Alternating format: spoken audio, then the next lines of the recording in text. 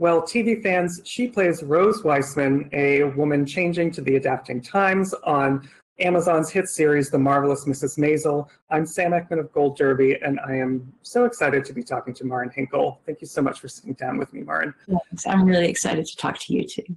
Um, you know, last season we saw Rose got this huge storyline where she gets to run away to Paris and goes through all these um, enormous personal changes. Yeah. And I'm, I'm kind of wondering, is there anything from like what was the thing that prepares her for this next chapter? As in season three, we find out that. Um, you know, she's kind of in financial straits for a lot of season three. So, mm-hmm. is there anything about the Parisian experience from last season that prepares her for, for all this?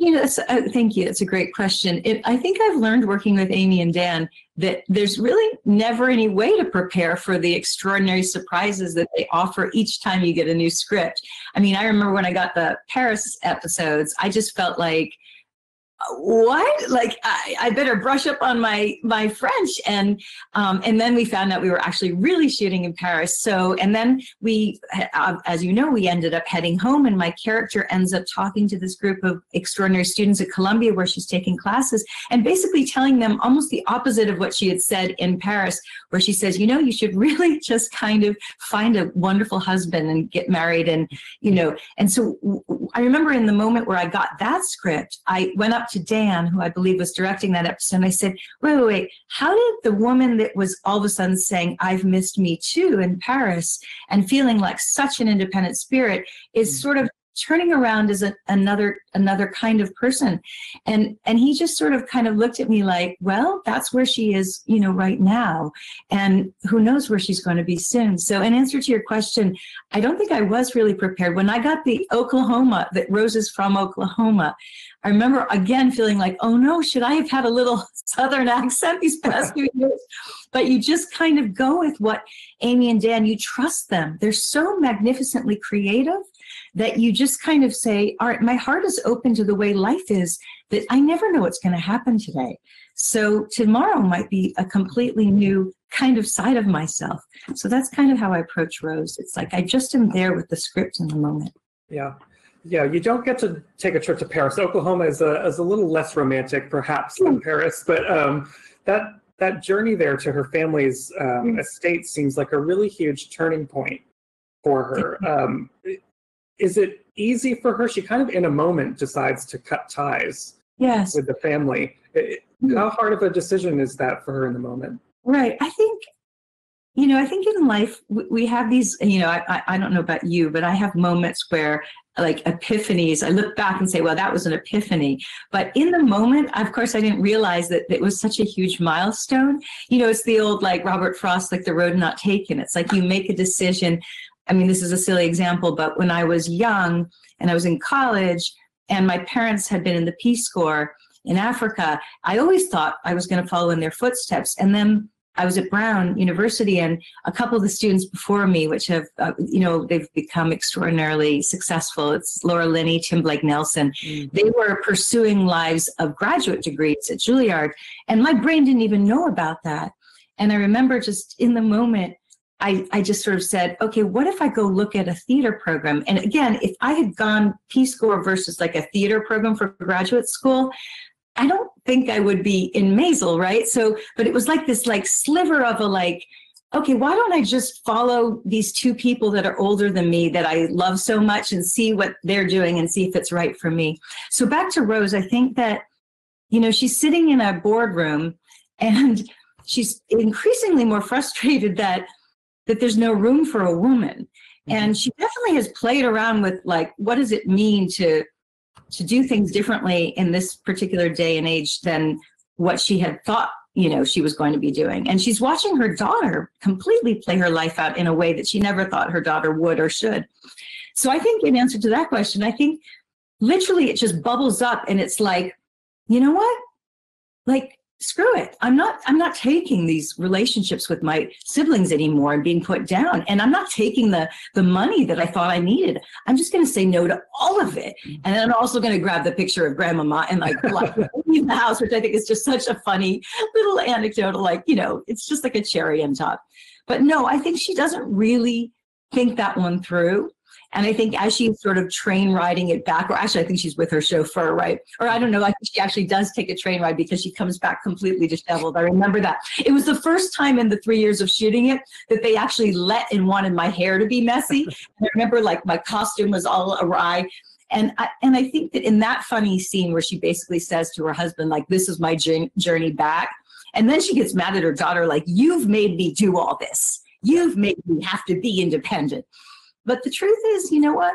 Rose has always been a little cut to her own, you know, cutting her own cloth and like marching to her own drum beat. You know, I think she she plays the whole like, oh yes, I am like all the other women, but inside her, she feels like she's in her own like Broadway show. You know, I remember I said I've said this before, but the oh, the first pilot script that we got, they described her as she entered in a kind of I think it was like a feather boa like dressing gown. You know, I always wear, wear these great gowns on the show, these you know robes, and it basically said she entered the room as in as if in her own MGM musical. Then I kind of feel like that's in a lot of her like big epiphany moments. Yeah. She's in her own like musical, like doing her grand number, not singing, but basically saying, "I'm going to do it differently," you know. Mm-hmm. I you tend to get a lot of those like explosive moment monologues where you get to go off on someone, um, which Amy and Dan are, are great at writing. Like it's really delightful to watch that that moment where she's been through like this epic travel journey. So are those um, are, are those as satisfying to deliver as they they look? Oh, isn't this funny? Like the the little actor secrets. Um, I get so scared about doing them because, as we all know about Amy and Dan's work, it's so perfect and the lines are so exquisite, like extraordinary music. And so you have to get every beat and every, you know, I dotted and T crossed. And so I, I, I, literally, I think I spend when I get those scripts, I sometimes hire friends, children to come over to my rented apartment and run the lines as if it's like in my sleep, I'm running them so that when I get on set, it's it's really a marathon and you just kind of let go and run it in in a level of kind of disengagement from reality and then you what's nice about it is you don't have the self-consciousness of judging yourself because all you're doing is just trying to like let it out and let it out as quickly as possible mm-hmm. so yes it's it's very frightening but it's also like the exhaustion after a marathon where you finish. I mean, the, I'm thinking of the one I did with Shirley where I had to run out in the street and basically tell the entire, you know, tell her off and you know tell in, in a sense tell the entire neighborhood off. And when i finished that i had you know sweat pouring down. I had you know i think i had my heart was beating. I think i was completely flushed. I, I really felt more exhausted than i than i had you know in ages so, but I love that feeling of exhaustion. You know, we don't get to work that often as actors. We have a lot of downtime, a lot of rejection. And so when we get something as hard as that, it feels exciting to be challenged that way. Yeah. Um, I'm glad you mentioned Shirley because it's it's always nice in a long running series when the characters can have sort of different pairings. And there's this great, mm-hmm. you know, when Abe and Rose sort of lose their finances, they move in with Moish and Shirley, um, which is a great dynamic to watch these two polar opposite couples battle it out. So what uh, and, and, try to coexist together. What was it like getting so many more interactions with those characters? I well, you know, I'm I am a blessed woman that I work with Tony Shalhoub so often and Rachel Brosnahan, and that and those are the two people that get to be my scene partners through the majority of my scene work. And then this year to have this kind of, as you say, this opened up landscape where I, I have Caroline Aaron, Kevin Pollak, and, and I've always loved working with Michael Zegan, but I didn't get as much time with him this year. But with those two, it's exactly what you said. It's like, talk about, you know, fish out of water. I mean, I think that Rose dealing with even the loud kind of Shirley and and just the, the, the, brassy kind of you know shall we say grating shall we say uncouth at times right you know rose fancies herself so finessed like everything about her i think the way she even moves her hands and you know uses her tea cups and drinks her sherry it's all done with this level of delicacy. And then you have Shirley come in and like, you know, like bull in a china shop. And and I just love what it makes the reactivity that I get to have to all that means that I almost don't even have to think about acting. I'm just literally reacting to them. And they make me laugh so hard that that's perhaps the only hardship about it is how do I not break in the middle of a scene with the two of them? They're so funny. And I love them as people, you know. That's the that's the other thing about being an actor, right? Is you, you know, part of I think why I was drawn to it, back to my my idea of was I going to go in the Peace Corps, something that would be very noble, and then or else do this kind of crazy kooky profession. But I love the community that the theater um, offers, and then in this case, it's very theatrical. This TV show is like a little company. We're like a traveling theater group or something, and I feel like I was always a kid that liked to uh, to come alive with that kind of sense of community. And Caroline and and um, Kevin and then Tony having us all in that sh- in that particular house in Queens was just delightful. I hope it keeps happening next season. Yeah, there was you you don't get any scenes with her on the show, but another character. Um, that had a huge impact on the show is Jane Lynch. And as I was re as I was refreshing my mind over your resume, I remembered you were in a version of Miss Julie an adaptation of Miss Julie, and Jane Lynch does Miss Julie in this as Sophie. Was there any opportunity to sort of like trade notes or give her any tips on? no, you're amazing. Thank you for saying that. You know, it's funny. That experience was really talk about like pivotal. It was like one of the hardest. That was one of the hardest characters I've ever played. I love how Amy and are so right to choose that particular difficult role. I, there's hardly any role that I've ever played that's that was more challenging than that. You know, I just never. It was amazing. I did it twice actually. I did it in the Berkshires, and then I brought it. We brought it into New York, and I remember putting this aside. I just remember like I broke my nose doing it with Mark Feuerstein. I also did it with this wonderful actor Reg Rogers the second time round. Mm-hmm. I, um, you know, I think I twisted my ankle or maybe broke my toe, and you know, it went through this whole thing. And I think I mentioned to Dan and Amy that I had done it, and then I maybe took like one little photograph that has me like you know totally disheveled on the ground or something in one of the reviews and, and by the way sometimes i didn't get the greatest reviews for that but I, I, I don't think that i felt like what I did necessarily would offer too much help to the extraordinary Jane Lynch, who, by the way, never needs any help. But I will say that when I finally got to see the scenes later, you know, because I wasn't on set when she did that, I just could not stop laughing and thinking, if only I could go back and do a Miss Julie with the kind of like freedom and cacophony of craziness that her character. I would think that it would be kind of fun to have like a comic musical version of Miss Julie. So maybe Amy and Dan should do that next yeah. with Sam Foster playing the lead and Jane Lynch Perfect. in it too, singing. Jane sings, so of course she could yeah. play play the role too.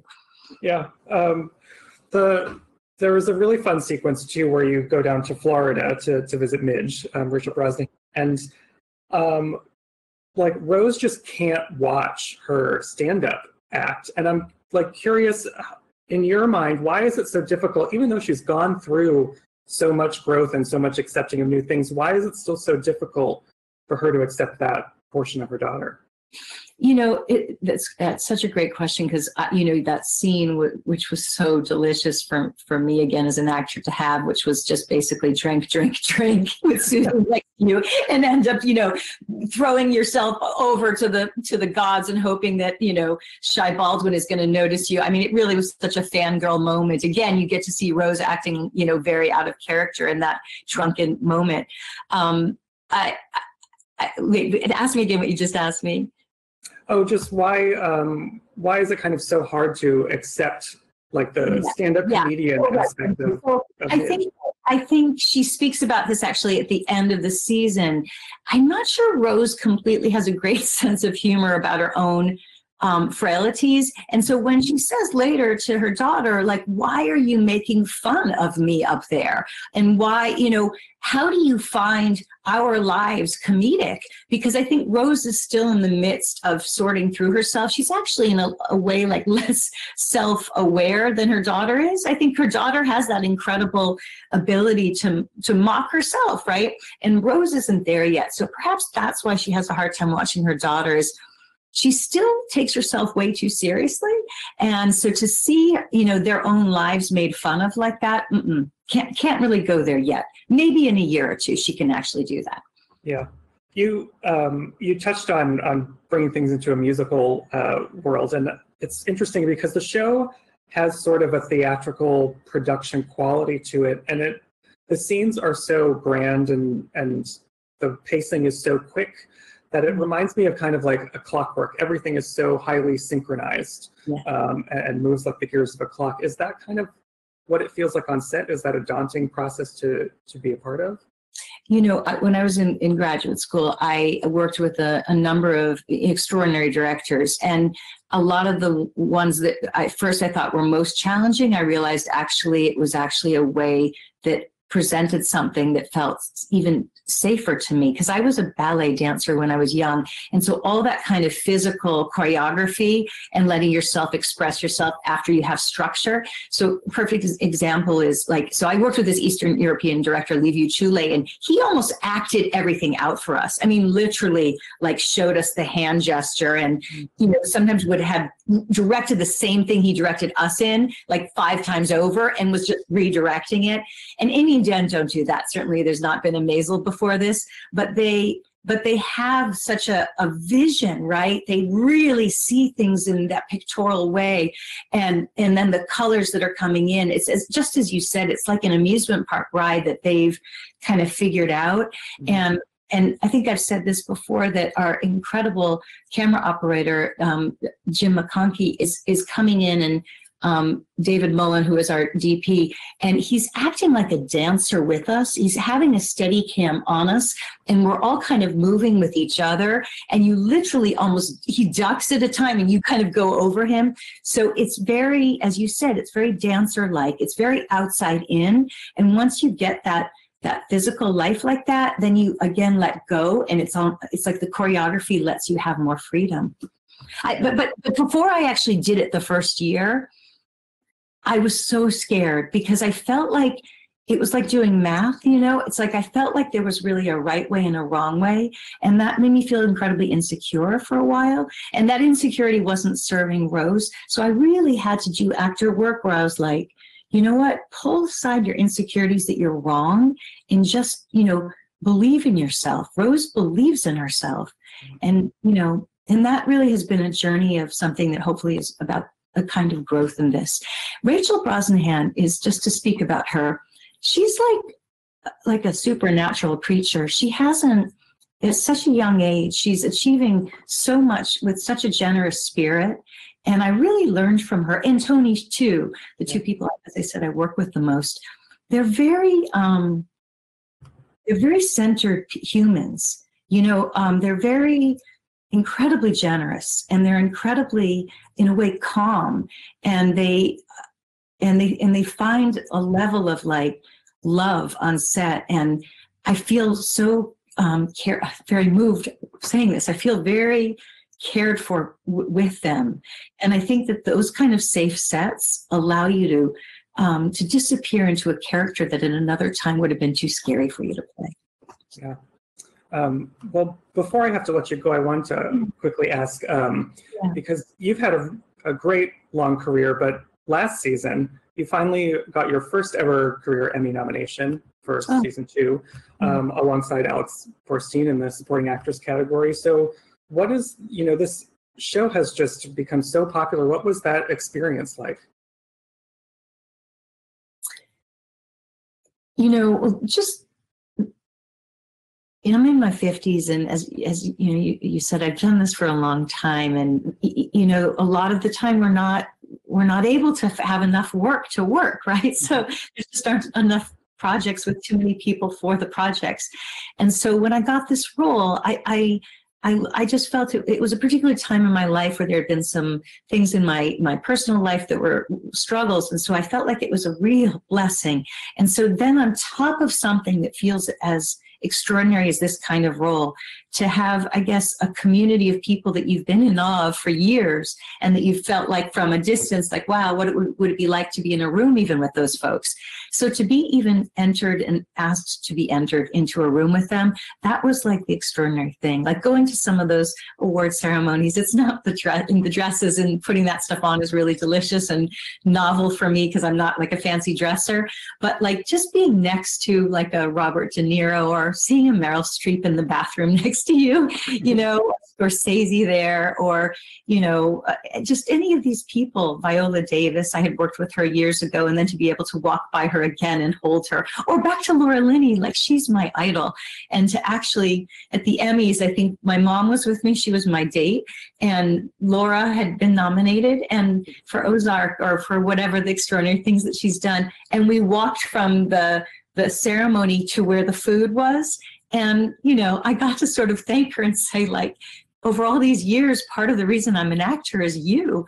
And I just felt so lucky to be right there in that room with her. So that's what I would say to that is I, I, I was I felt very blessed to get that nomination.